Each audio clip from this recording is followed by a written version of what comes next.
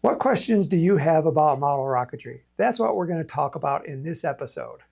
Welcome to Advanced Construction Videos, where we show you how to tackle rocketry, building techniques, and more. On our website, we sell kits, motors, building supplies, and electronics. So come and learn, shop, build, and fly when you visit us at apogeerockets.com. Hi, I'm Tim Van Milligan from Apogee Components. We put out a survey to customers and viewers on this channel about what specific questions that they want me to answer. And we got probably almost two dozen questions that came in. And today I'm going to try to answer them. So let's get started. So the first one came from Ross Warren, 436 via YouTube, and he asked, should all park flyers get NAR membership to have that insurance? And I would say probably yes. The NAR insurance kicks in after your homeowner's insurance is exhausted. So if you don't own a home or if you're renting, it's good to have it. Uh, when you join the NAR, you can't opt out. So you're going to get it anyway. It's worth getting the NAR insurance. Being a member of the NAR is definitely worth it. And then you get the insurance as a bonus. Andy in Indy says, Why are long burn, low thrust motors such as the F 15 so uncommon? Is it a manufacturing challenges, limited design space, harder to store because of the long grains, or something else?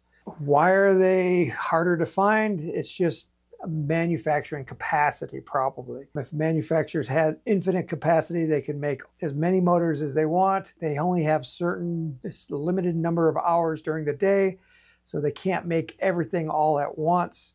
So they have to stagger things out and then, you know, the long burn motors, unfortunately, they don't sell as good as short burn motors. And the reason is you can't use them in heavy rockets.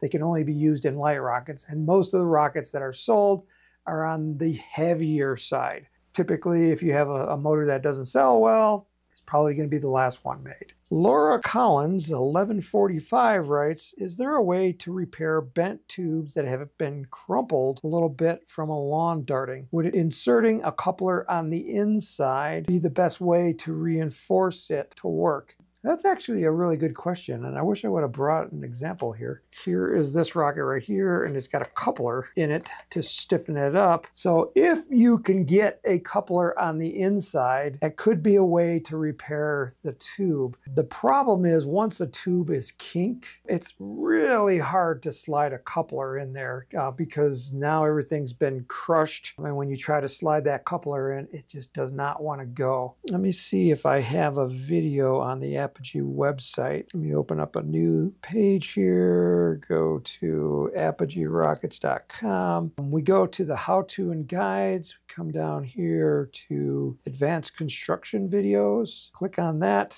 Come over here to all videos. And this is all of our videos. And when you're on this page, what you do is you do a command F, or on the Windows computer, it's Control F, and that will bring up a little Finder window. And this is specifically going to look on this page. I'm going to look under the word repair, and I've used it 26 times. Uh, let me see if I can find repairing a tube. Oh, here we go.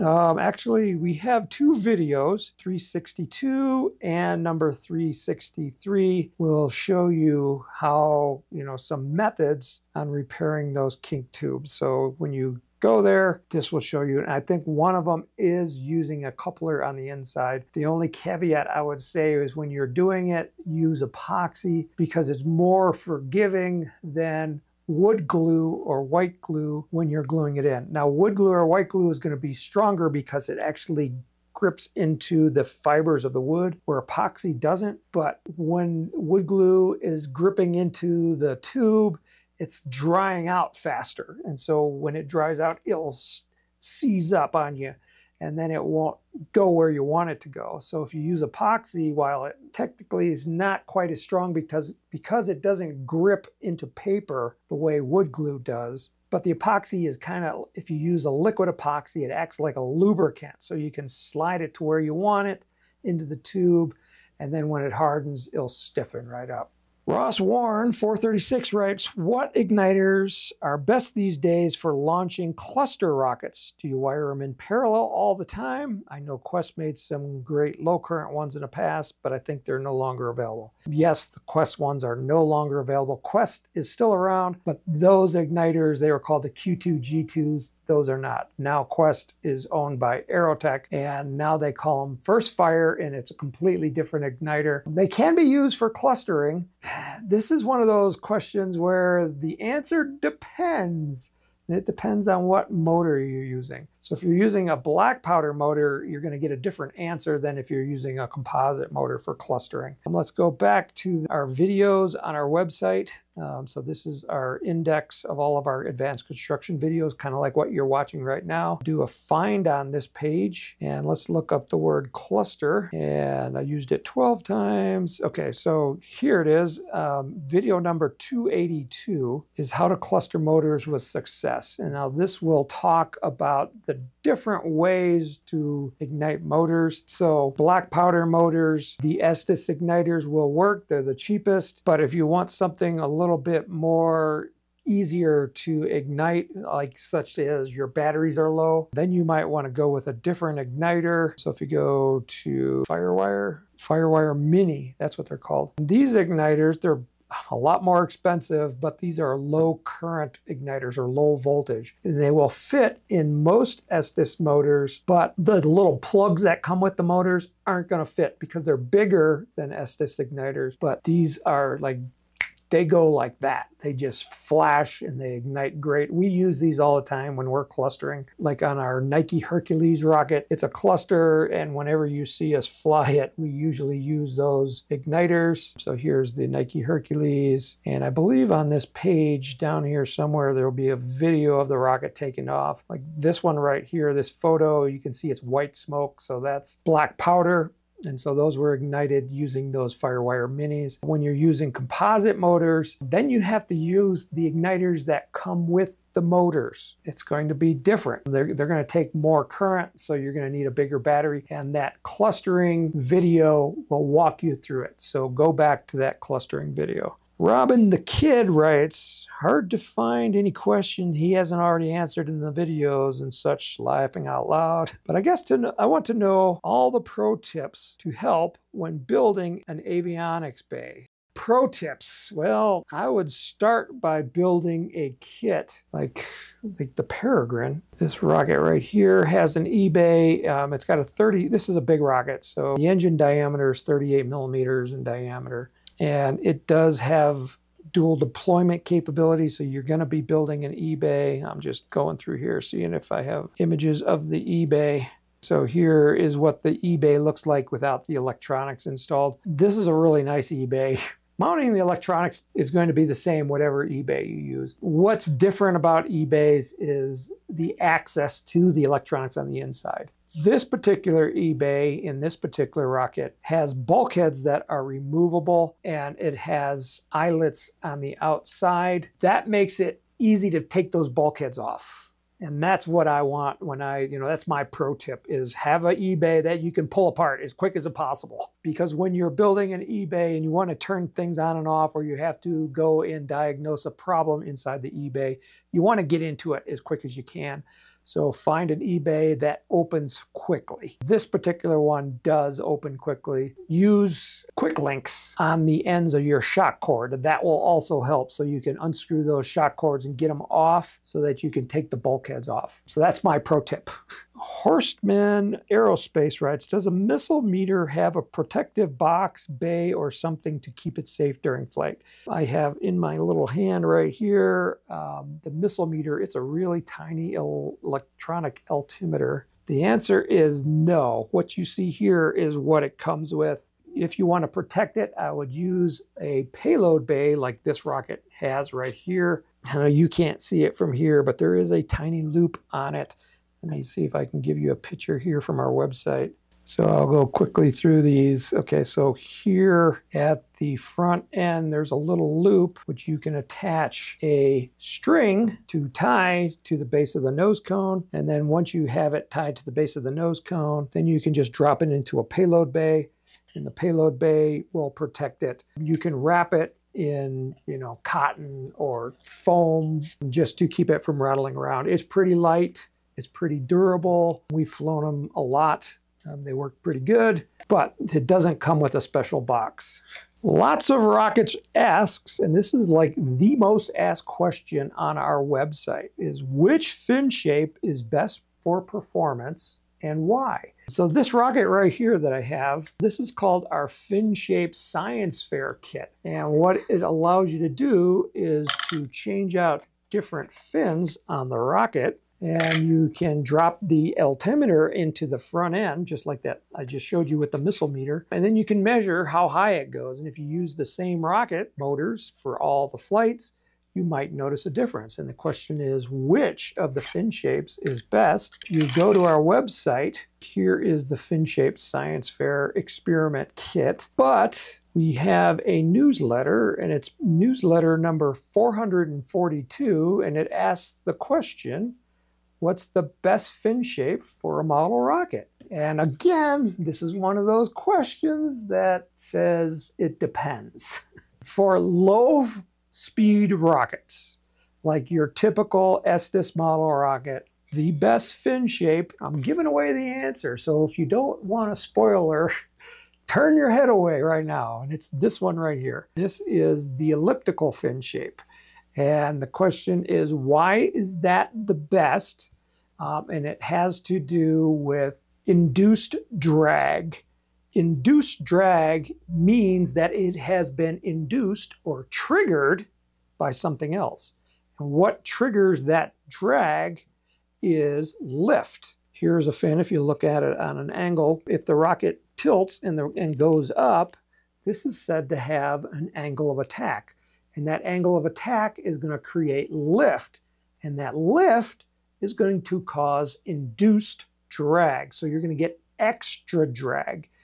Now, the elliptical fin shape has the lowest induced drag. When you get into higher speeds, then the answer is going to change let me bring this up here, is in RockSim. So here is a rocket. Now, if you look at the edge of the fin, it's nice and square. This right here is called the airfoil. So if I look at just the edge, you can see it's a rectangle. And that rectangle is the worst airfoil that you can have on a rocket. To make it better, I'm going to open this up and I'm going to change this to 3D. Okay, so here is that rectangular shape. I can change it to a rounded shape. You can see that rounded edge, the front and the back have now been rounded. That is a much lower drag because the air can kind of go around the fin much easier. It's not like smashing right into it because it's nice and flush on that leading edge. So what's even better than the rounded is an airfoil. So the airfoil is this teardrop shape. If you have a choice, always, always, always make your fins airfoiled if you want the lowest drag. Now, a rounded one and a squared off one, they'll work, but they're going to have higher drag, so you're not going to go as high. So if you want to lower the drag, always an airfoil shape. This airfoil shape is so much more effective than changing the shape of the fin. You know, I can use this shape fin, but if I compare it to this one, and this one has an airfoil and this one does not, this one's going higher. Airfoils are more important than the shape of the fin. Michael Kiesel, 1646, writes, What size parachute to use for different rocket weights. Okay, so let's go back to the Apogee website here. I have a different newsletter for that. So we're going to go to the how-to and guides on any of the pages. Come down here to Peak of Flight newsletter. And then we want to come over here to all newsletters. And we want to do a search on this for parachute I've used parachutes 50 times. Let's see if I can find that specific newsletter issue. Okay, this is issue number 496. So if you click on one of these two links down here, it will take you to a article that will give you a chart, and I'm scrolling down here and I'll find this chart for different size parachutes. So if we have a hexagon shaped parachute, you would use this chart. So you come down here and you say, my rocket weighs 150 grams. So if I have a 150 gram rocket, I'll come over here to the side and it's going to be in that 24 inch diameter area. So it could be, you know, anywhere from 19 to 29, but that 25 will give you an, a reasonable descent rate. So you always base the size of the parachute on the descent mass of the rocket. We don't care about anything else. We all we care about is how much mass is coming down. So these charts were also generated in RockSim. This rocket does not have a parachute in it, so I'm going to cancel out of that. Save my changes. No. I'm going to put a parachute into this tube here. It always asks you what size parachute, but I don't care right now. Our current descent mass is right here. Unfortunately, I don't have a motor in it, but assuming I had a motor in it, you look at this descent mass, and then we want to go a preset rate. So there's three preset rates, and most of them you're going to be in the medium descent rate. So if I click on that, it will tell me my descent rate is about 8.9 miles per hour, and I want um, a parachute about 27 inches. So you can see right here the outer diameter is 26.9 or, or 27, depending on, on that specific mass. So if you change the mass, it's going to change the diameter that you're going to want to use. So if you want to dial it in even better, use RockSim for that. Thanks for watching. If you have other questions, just, you know, be sure to come to the Apogee website. You'll find our contact form there where you can ask your question. We also have this free newsletter. Please be sign up for it. It's like where you get all this information. Like I said, you know, you saw we how many hundreds of videos we have, hundreds of newsletters that we have. Well, you get notified of these newsletters every week because we put one out every week. And they're all great how to information like what you're watching right now. So be sure to subscribe to that newsletter. Again, my name is Tim Van Milligan. This is the Apogee Rocketry Workshop. May the winds be light, may the skies be blue, may all your rockets fly straight and true.